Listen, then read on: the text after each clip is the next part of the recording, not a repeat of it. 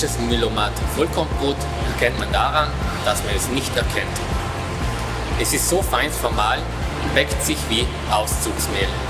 Trotzdem enthält es alle ernährungsphysiologischen Eigenschaften.